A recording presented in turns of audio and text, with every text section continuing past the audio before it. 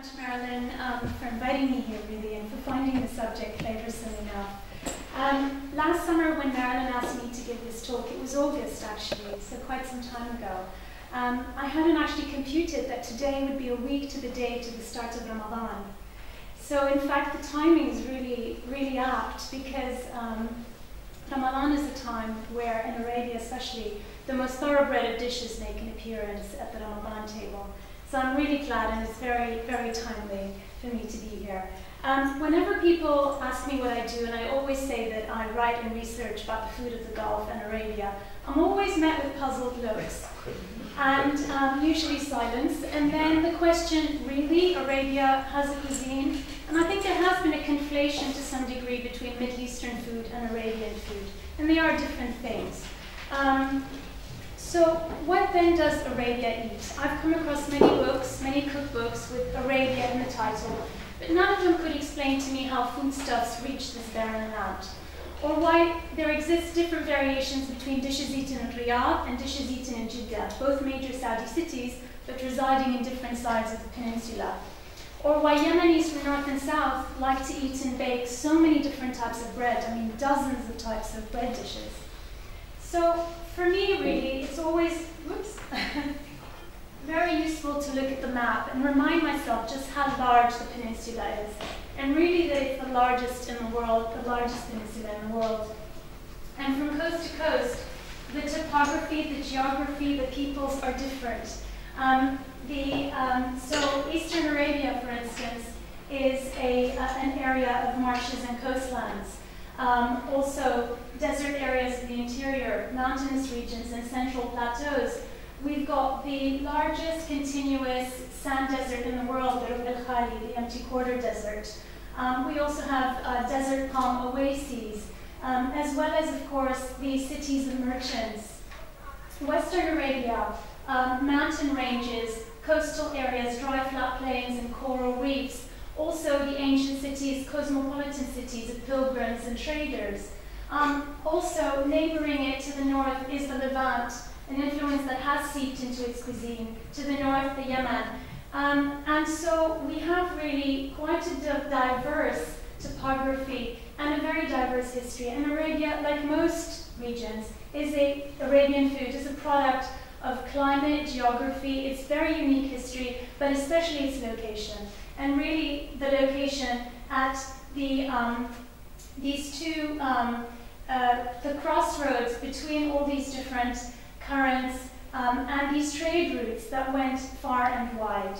Um, and so I like to think of them in my, in my work as an Eastern Arabian kitchen, Khaliji slash Najdi. And by the Khalij, I mean the countries, uh, the totality of the countries along the coast Kuwait, Bahrain, Qatar, the UAE, Saudi, and Oman, and Najdi, the areas of the interior.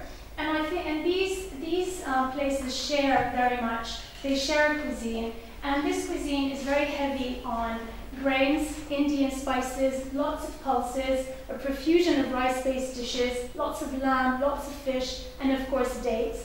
And I also like to think of a Western Arabian cuisine Yemeni slash Hijazi, and Hijaz is this area, like I said, south of Yemen, Saudi, um, sorry, south of Jordan, Saudi, and Yemen. And um, the western part of Arabia, also lots of grains, but also bean dishes, lots of locally harvested honey and ghee, fenugreek, lots of fenugreek in their food um, as well as um, uh, locally harvested grains like millet and barley and sorghum.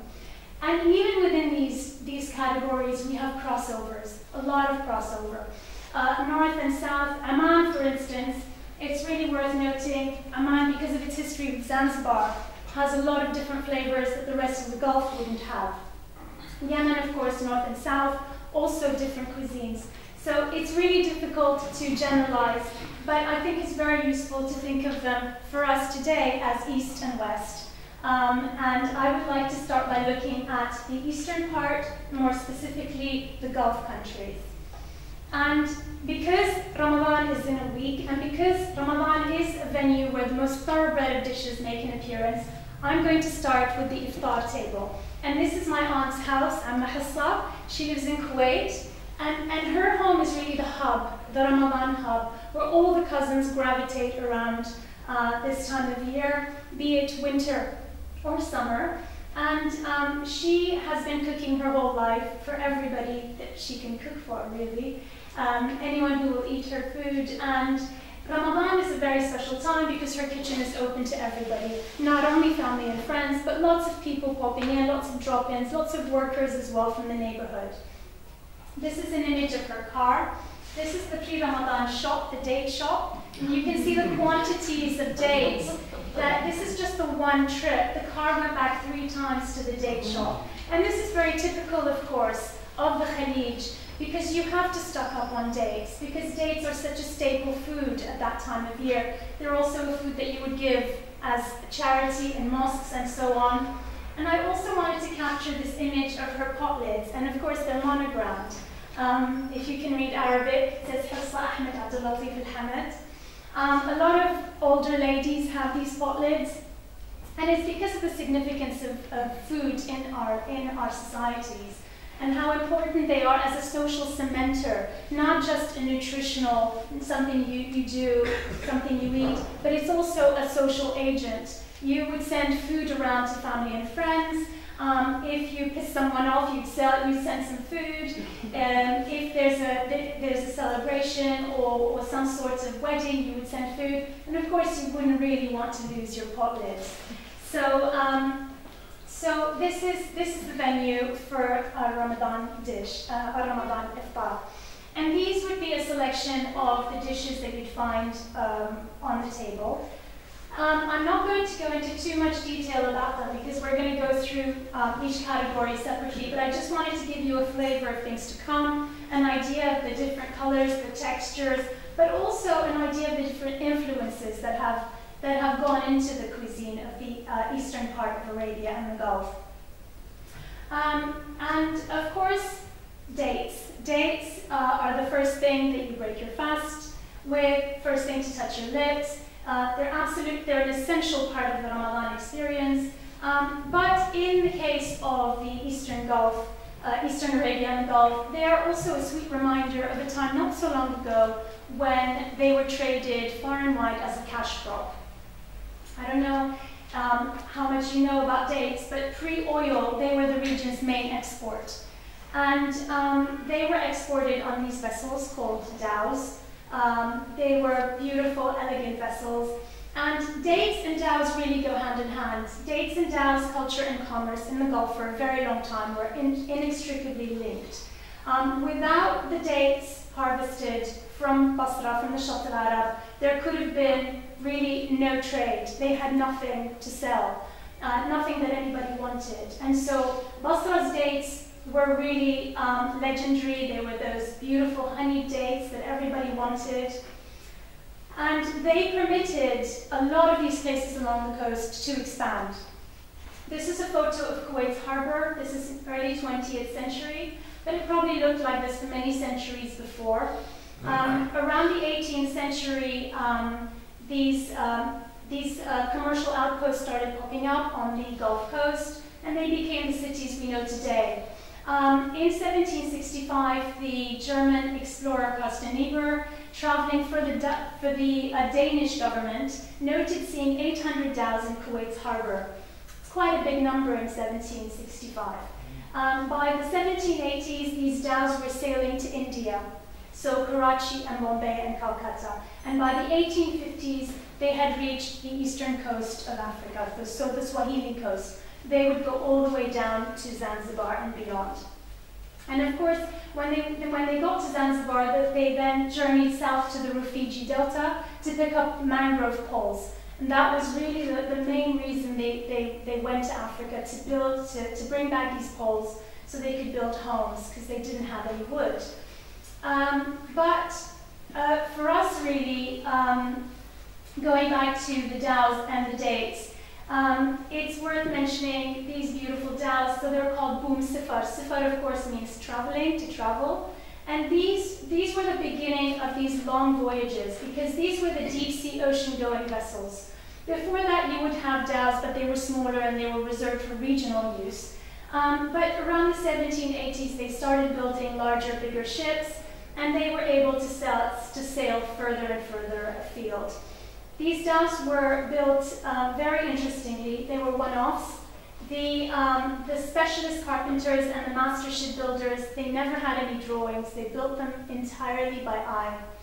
Uh, and the only specification that mattered was the tonnage of dates. The ship was built to carry dates and nothing else. So the commissioning merchant, uh, Tajir, would go to a master shipbuilder and would say to him, I want a ship that can carry X number of dates, X number of tons of dates. And then they would build the ship accordingly. So again, dates and dhows. And the, um, so the dhow would leave uh, Kuwait's harbor in early September and would journey up to the Shatt al-Arab. And the reason it happened in September was because dates would start maturing in the summer. The maturity period of the date is from June, July, August. By September, they're ready to be harvested. And again, the, um, the seafaring season, Mosim Sifar al-Bahri, was always dictated by the date harvest season, Mosim al-Tamr. So dates and dhows. Um, and here I, I, just added some photos just to just to bring in the different hues of the different maturity um, uh, ripening um, phases of the dates. And you can see all the different hues. Um, in, in, in the end, of course, they turn yellow and then finally brown. It takes a few months. But the captains, the nokhibas, had to be ready because they had to catch their window and make sure that they were there at the right time. These are the beautiful date groves of Basra. They were legendary. By 1930, Basra was the largest exporter of dates in the world. They had the best dates, the best palm trees, and they produced the most honeyed dates. Um, they produced over 100 varieties of date palms. Within these, the four main types of dates were the Sayyir, the Burhi, the Hilawi, and the Zahidi. And each of these had its different markets. Some of them were very prized in Karachi, others were very prized in the Yemen, and so on. And so um, this, um, so so the dhows, oh, it was a mandatory trip to always go up to up to Iraq and then south. Um, and these are a few of these beautiful postcards just to show the incredible, incredible date groves they were, the location of the date groves was actually very important because they were at the confluence of the Tigris and the Euphrates, and the salt, sweet water of the Shatt made it so that the dates were just special. They were, they were really divine.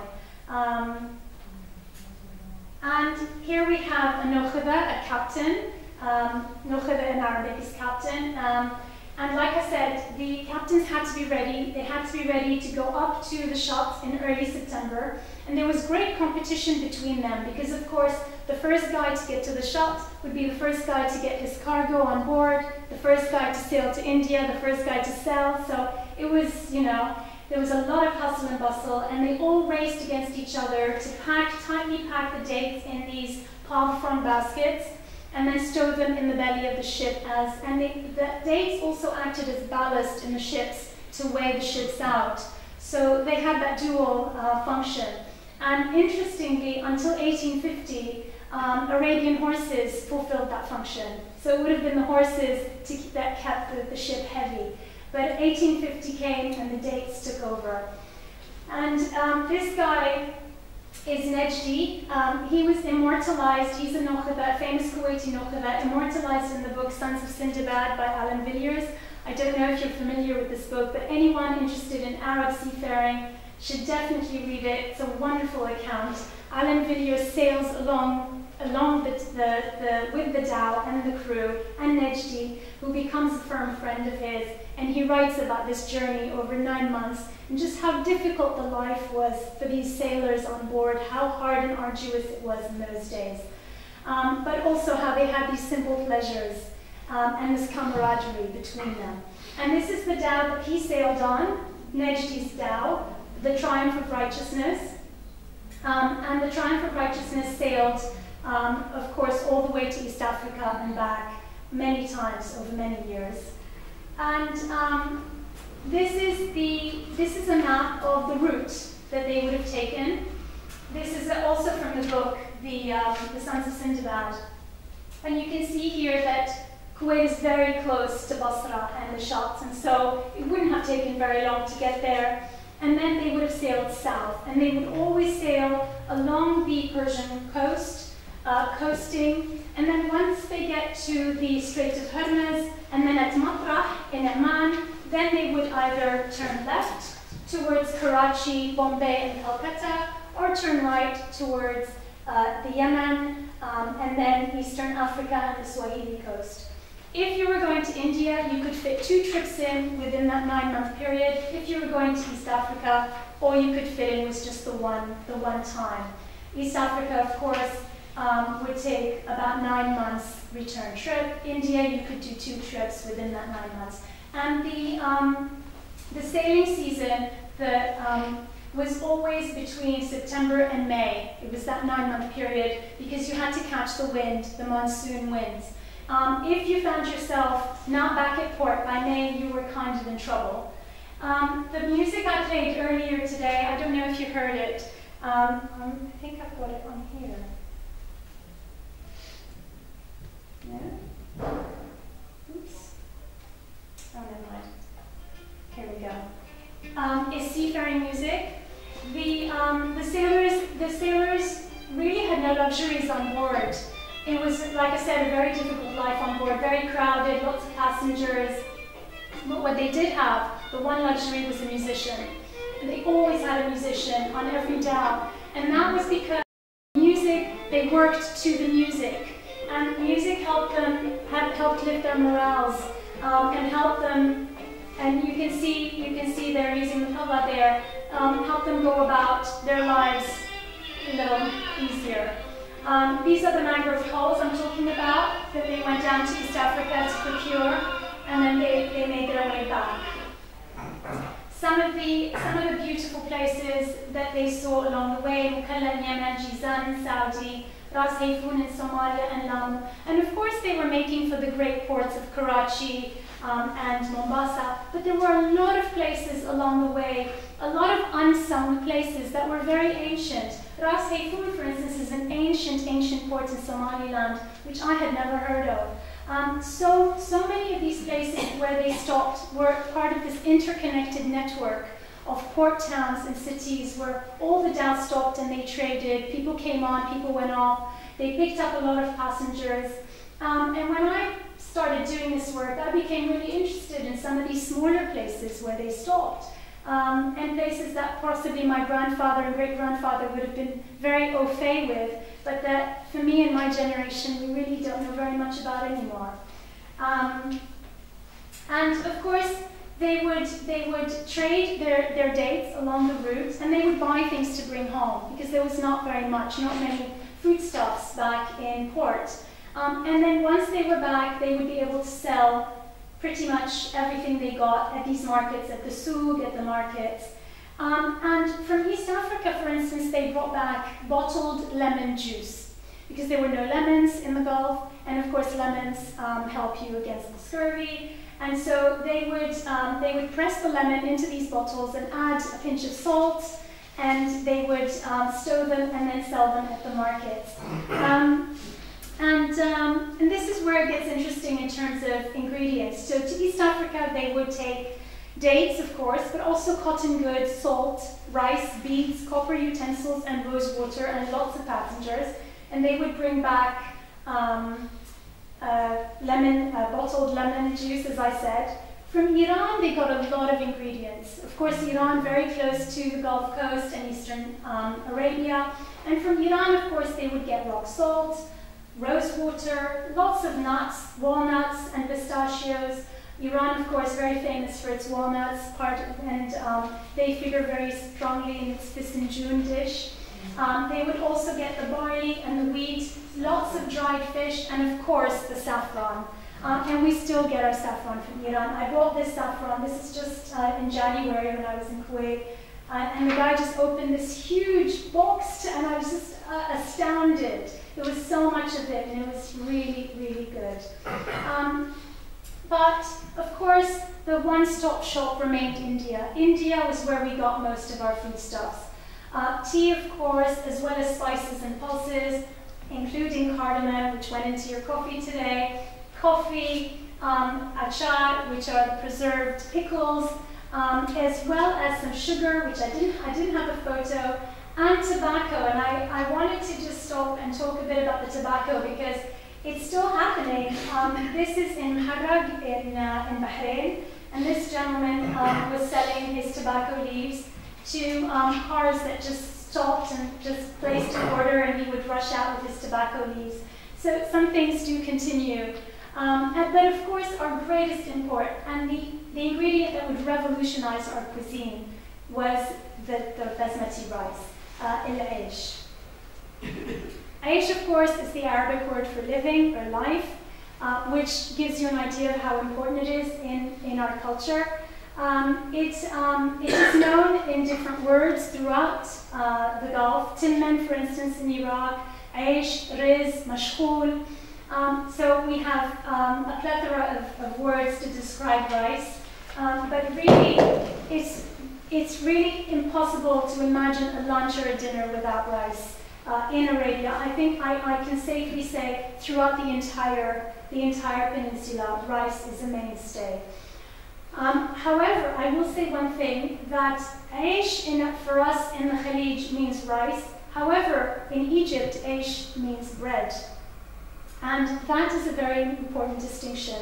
And that goes to show, obviously, the different agricultural um, environments, um, and that for us, rice is the mainstay, the staple in Egypt, and possibly also the western side of Arabia. Bread also takes over. Uh, El mishkhal, the sieve, very, very important kitchen utensil. Um, you, you go to any market and, and, and, and there's just, they're piled high.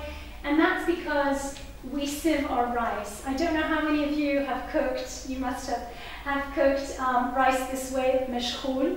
But it's basically um, you, you parboil the rice until it's al dente, and then you sieve, and by sieving you get rid of the starch, the starchiness. And then you would put, uh, put, the, put the rice back in the pot and steam it. The steaming is everything, it perfumes it. You can add pretty much any ingredient to your steam. Um, and this is a video that I wanted to show just because rice, whoops, technology. Okay, there we go. Um, this is a, um, I'm working with, um, with, salt. It's salt. That's not me, by the way, but um, in her defense, it's a lot of rice. And there's a lot of meat that goes into that. Yes, it's a lot of salt. So, so however, she tests the rice grain just to make sure that it's not entirely cooked. And then she sieves it, removes all the starch. Um, this is a Yemeni lady, actually, I work with in Ajman. I'm doing a lot of work with Yemeni communities at the moment. And she's already got her casserole of meat, yogurt, spices, and potatoes. She adds her rice to it. And. Yeah. Good!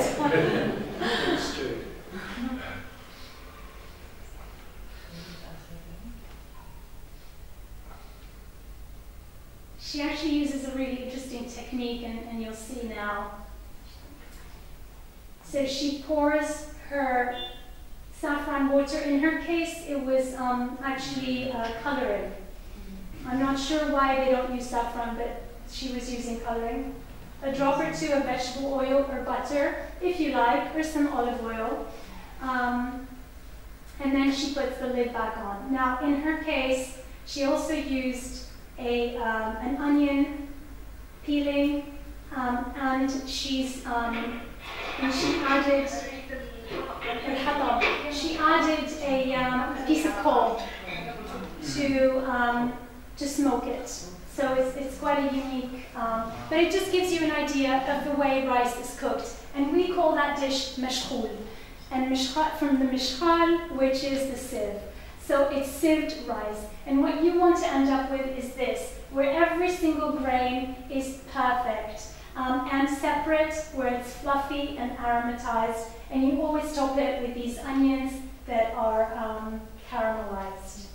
So I, I wrote down here all the different names of rice in, in Iraq. For instance, it's called timman. We call it aish. Some people call it riz. My aunt calls it chawal, which is, I think, the Indian, Indian term for it. So it's, um, it really is the staple.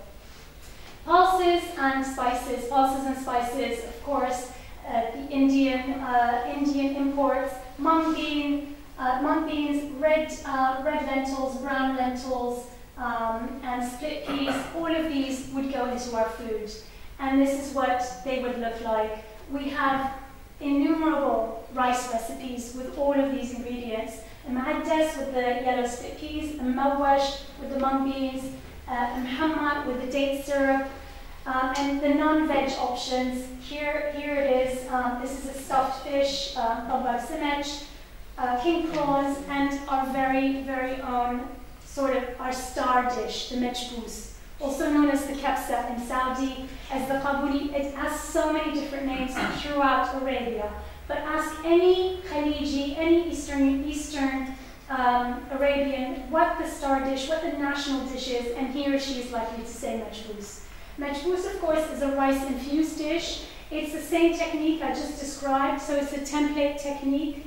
Um, the meat would be cooked first, boiled, with the addition of spices. So you would throw in some cardamom pods, some cinnamon sticks, uh, a couple of cloves. You would cook the meat for about 40-45 minutes, and then you would remove the meat, and that broth you would sieve, remove any impurities, and cook the rice. And so, of course, the rice would then mingle with all the different flavors. At the end, you would add the meat, the meat to the rice, um, and you would also add some hashu, some stuffing. So uh, perhaps a bit of dried lime, uh, some raisins, uh, a little bit of saffron, and, and the whole would just get steamed. And so it's a very, it's a highly aromatized, aromatic, aromatized dish, and you always eat it with the dakous, which is a tomato sauce, very fresh tomato sauce. You could make it as fiery as you like or as mild as you like. Um, in our family, we don't go for too too fiery, but I know some some friends do. And Papa Gizbedi, um, so like I said, the mechbous is a template, so you could you could pretty much cook anything using that technique. Um, we have a very popular dish, which is a um, um, a fish and rice dish in Gizbedi. Um, the, the, the, the, um, the fish that we use is a grouper, so very flat, white, white fish, very flaky white skin, pearl white, um, but we also use um, so uh, and hamur, which is an emperor fish. And these, of course, come from the very, very rich waters of the Gulf. Uh, they're, um, they're brought in every day, very fresh. We're very lucky we have loads and loads of fish markets. This was one of my dad's favorite dishes, and I remember him as a little girl tucking in with his fingers. It's something you would eat with your fingers, um, and just, yeah, it's really good. Um, another uh, variety of the mechbous is with fagir. In the Gulf, in the desert, we have desert truffles, and they're called fagir, and they're a delicacy. Um, they are really delicious, I can't tell you. But actually, when I, when I was a little girl, we would go on fagir uh, expeditions into the desert. I remember so well. But I don't know if it's um, global warming or what, but really it doesn't happen anymore. Uh, is dependent on rainfall, so they're harvested in the winter. So obviously, if you've had enough rain, then you've got the desert truffles. But these, um, these all came from Algeria. They're all sold in Kuwait, but they all come from Algeria. And there's an entire market that looks exactly like this every single stall with its red sort of carpet motif. I'm not really sure how they alighted on this, but it really works and it's, it's a very interesting place to visit. And everybody's very, very friendly and they love talking truffles. Um, this is truffles, uh, of course, a delicacy.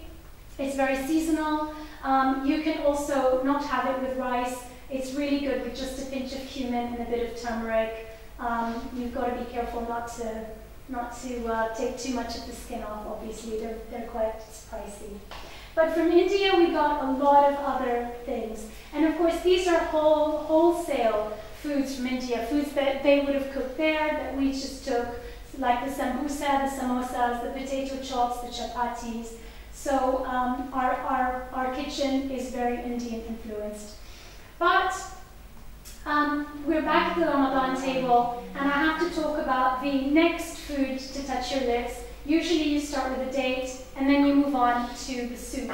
And usually it's shorbat adas, dal soup, um, red lentils, tomatoes, shredded vermicelli, and dried limes. I don't know how many of you know the dried limes. I brought some here. I'd like you all to have a look you know, have a sniff. Um, they, uh, they're an ingredient that's absolutely um, tied to the peninsula. Uh, they're called lumi Omani, limu in Persian, or lumi basra. Um, they are used um, in stews and soups to cut through um, very rich dishes. Um, they are dehydrated, and then when they come into contact with cooking heat, their uh, flesh starts to soften and then they release a very tangy, very citrusy juice that marries very well with some of these quite heavy um, stews and soups. Uh, the powdered form, which I have here, um, which uh, is, is really, really very strong, uh, works very well as a marinade um, for fish and lamb. Uh, we use it a lot in, in our cooking. And you can also boil these into a tea, a very highly digestive tea uh, chai lumi. Um, it's, it's, it's one of the distinctive flavors of Arabia, I, I, would, I would say. So, of course, my aunt's famous lentil soup. Um, and, um, and the vermicelli, I don't know if, if you're intrigued by it, but when I first started doing the research, I thought, what? How did the pasta, how did that happen? And, and actually, it's very interesting because it's, it's, a, it's an import. Um, it's an Indo-Persian import, and it came to us, of course, on several waves of migration. Uh, in the 18th century, tribes and families migrated south from Iran uh, into the eastern part of Arabia, and with them they brought a lot of improvements to the local diet, including the shredded vermicelli. In Iran, they're called reshte, and they figure in their ash soup, very traditional Iranian soup.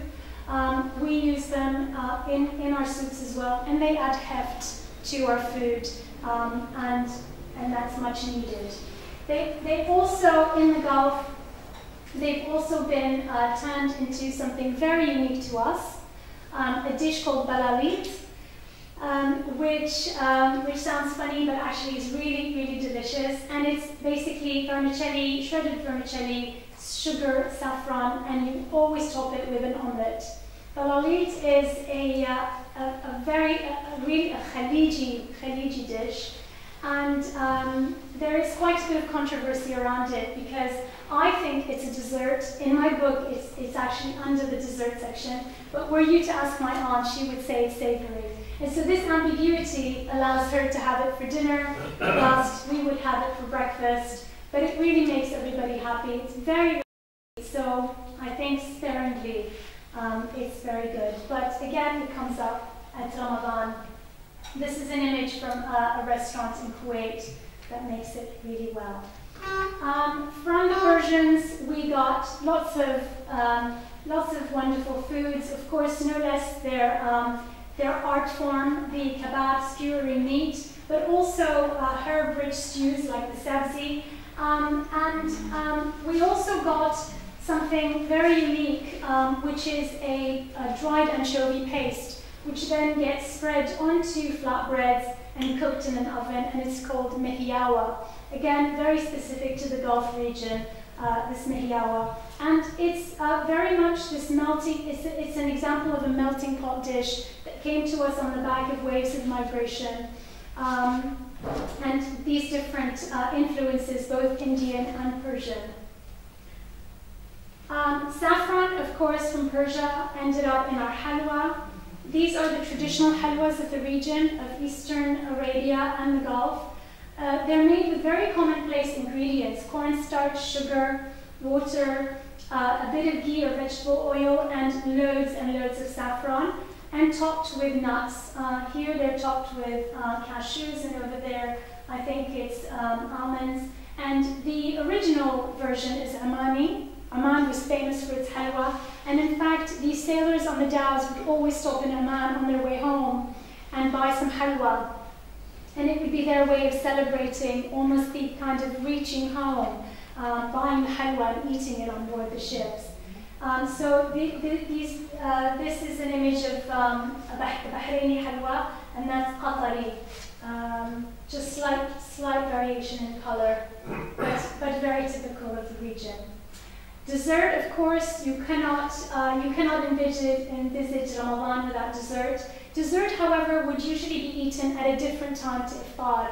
So at iftar, you would have your main meal, your carbohydrates, your proteins, and these very sugary sweets you would reserve for later, possibly an hour or two or three even after the main meal.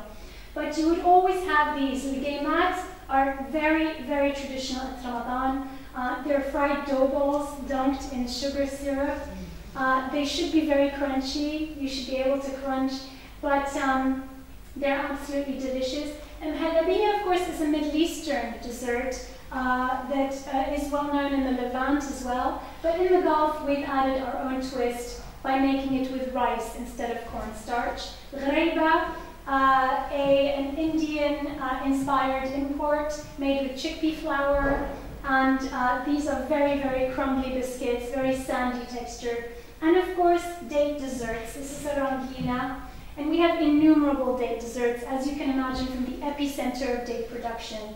What would you get? You would get a lot of date desserts.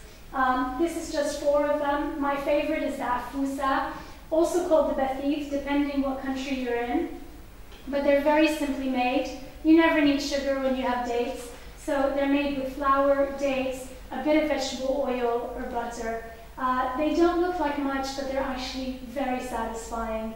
Um, really, that one is, is delicious. And I make it here very often for English friends. They, they really love it. We add a bit of cream. Um, now, ah, yes. One thing to add about these is they were also offered to mothers, new mothers. So they're also considered postpartum puddings. Um, in the Gulf, of course, uh, new mothers back in the day um, had their children at home with no medical care, and so foods were used to heal. And these were some of the foods that would be offered to a new mom because they were very easy to digest, um, so easy on the digestion, but they were also rich and very healing. Dates especially were considered very, very healing. So these would be part of a new mom's diet. There were a lot of do's and don'ts for a new mom. A lot of things she wasn't able to eat, like yogurt and seafood, but these dishes she was encouraged to eat. One of the dishes, one of the main postpartum puddings, is the hisu. Hisu is a dish, again, uh, that came, came down to the Gulf from Iran. Hisu is, very, is, is a very similar dish to the ones I just showed, but has um, a massive amount of spice especially ginger. And I think that's interesting because obviously ginger is a very warming spice. Um, and uh, the idea behind all of these postpartum puddings was to rid a new mum of any air that she might have accumulated. Um, so there's a bit of Ayurveda in there as well. And this is, uh, this is our little Hisu uh, expedition. Um, a, a, very good friend of mine introduced me to it and uh, tons of spices go into the spice mill nowadays. In the, in the early days, they would have done this by hand. But back to the Ramadan table. We looked at a lot of dishes that came to us from somewhere else. But what, what came to us from the land, from Arabia itself? These are the porridges uh, that we call haris and madruba. And these, of course, were dishes, these are ancient dishes, very, very, very old dishes. And they're dishes that came about as a, as a result of scarcity. Obviously, very few ingredients in Arabia, um, but they were, they're also dishes that tolerate substitution. So if you're out of rice, you could, you could use oats. If you're out of oats, you, you use cracked wheat or wheat berries. And the way they work is they, this is slow food. They're cooked for up to four hours. So you'd either use uh, white meat, so uh, chicken or lamb, and your, your uh, grains, and you would cook, it would cook and cook and cook, and then finally you would beat them into a sort of porridge just like that. Um, you have different consistencies of porridge throughout Arabia. This one is quite loose, it's quite watery, again, very easy on the digestion. This is another dish that would be offered in New um, very nourishing. Uh, and of course, in the desert, it would keep you full for long periods of time. So it's also a dish that would work if you have a nomadic lifestyle. Um, this is a, an example of a Yemeni uh, porridge called the very, very popular in Yemen. Um, it is actually really, really delicious. Unfortunately, this is the only photo I have, but it's, it's in, and the consistency is much more akin to a dumpling. So it's much, much thicker and more rubbery than the previous dish. But I wanted you to see again the technique uh, here. I wonder, is this, uh, whoops. Okay, there we go. It takes, it, it is quite it's quite a technique. I wasn't able to do it. Uh, they were showing me how to do it, but it was, it was impossible because you actually have to get the paddle up against the side of the pan and then just keep going and keep going and keep going until it's very, very smooth. But this is again another example of these hinterland, of these very, very Arabian dishes that came from a Bedouin aesthetic, very rustic dishes.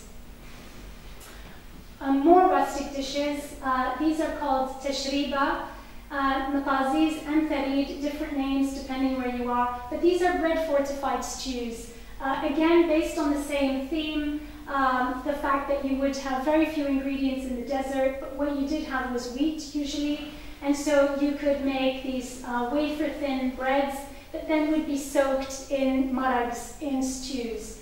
Um, and they would add heft, they would add nutritional value to these subsistence diets. And of course, these, um, these soups or these stews that have the dumplings in them, these, these can be found in, in so many different cultures. In Eastern Europe, um, in, in Asia, throughout Asia, they're very common to so many cultures. And I think they're very, very old dishes because clearly they come from, from, from the fact that there was very little to hand. But people manage somehow to feed themselves, and, and, and these are some of the dishes that make an appearance at Ramadan. They always remind us of that time, uh, that time when, when really there was, we had nothing um, in the desert. Um, so Yemen, I talked a bit about the different breads that come from Yemen, a society that, that uh, bakes and eats so many different types of breads. I wanted to illustrate just a few of them. This is khubz khmir hadrami, um, I call it the Yemeni focaccia. It, it has the same texture, very springy, very olive oily. It's absolutely delicious. And this is khubz tawa, and khubz tawa means it's cooked on a metallic sort of ring that would be placed on a hob. Um, they use nigella seed a lot in their breads, which we don't use in Eastern Arabia, again, an, an ingredient uh, that, uh, that's very unique to, to them. Uh, this is uh, the zurbian, Yemeni meat zurbian. It's a majestic dish, as you can see. This is the dish that the lady was cooking in the video, the, the salt. Um, and um, she added the meat, lots of potatoes. It's very spicy. It's a wonderful, it's a, it's a beautiful dish, actually. And um, I also wanted to talk, I talked a lot about the, the um, Indian subcontinent and East Africa, but I haven't really talked about the Malay Peninsula. And there was actually a lot of travel to Malaya, uh, especially from the Hadramaut, from Yemen.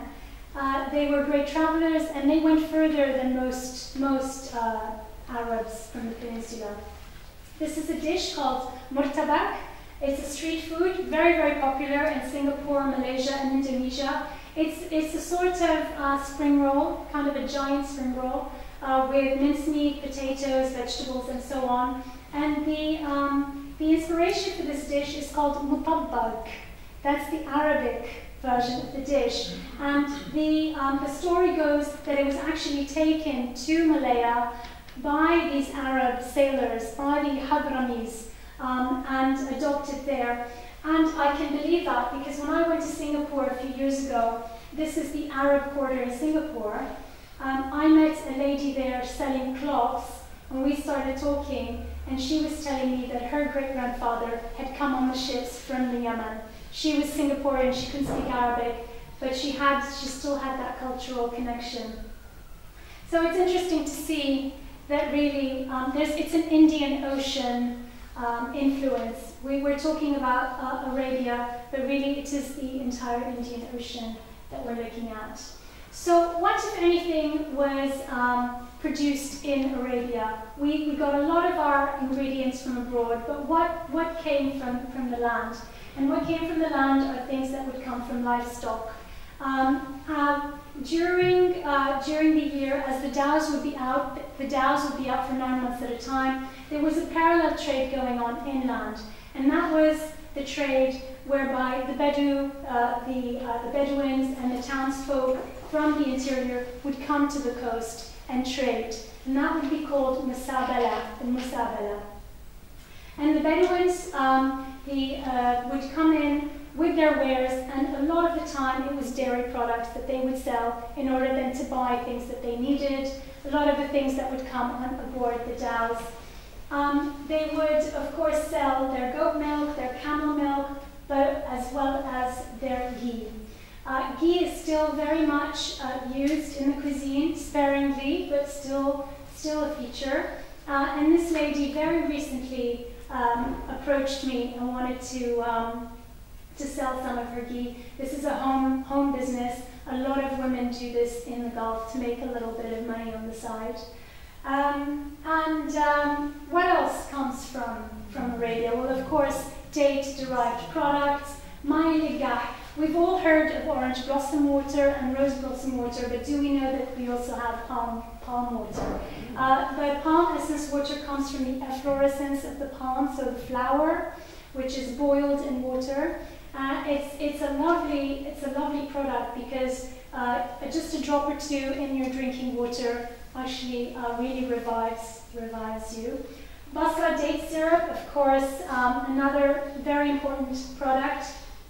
Date syrup or date juice um, has actually been in production for several millennia. Uh, it, is, it is a very, very old product and it's very typical to Eastern Arabia and the Gulf region. And the reason I know that is because of Bahrain's fort. Um, this is Bahrain's fort. It, um, it dates from the second millennium BC. And you can see very clearly here the medbasa, the date press. And the way the date press worked is um, sacks of dates. So, so this would be a sealed room, darkened and sealed. And sacks of dates would be placed on top of the grooves. And with the heat and the weight, um, the syrup would flow out into the grooves and into a channel and then be collected in a jar. Uh, as you can see, it's a dark room, um, airtight. This is Fujairah. This is the oldest fort in the UAE, dating from between 1500 and 1550, Fujairah's fort, and they had their very own date syrup press. So they knew something about gastronomy. Um, this is in Harag, another date press. Uh, this one adorns a very trendy restaurant now, a restaurant where you can have your balalit. And, um, and many, many others have been unearthed recently, uh, especially in Zubara in Qatar. Uh, apparently, uh, there's an entire complex of them, 27 in close proximity, which obviously means that there was a, a date producing, it was a factory so what happened to the trade? Um, the trade ended, of course, after World War II. Uh, the maritime trade, um, and as, um, as the oil was discovered and oil riches were flowing in, but also as, as boats became mechanized. So there was really no use for the, for the dhows. So the dhows have gone quiet, they've been retired, they're now museum artifacts. They still look out onto the ocean, but they've gone, they've gone quiet.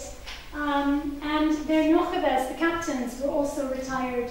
The last captain to retire in 1957, uh, Isa was given a government job.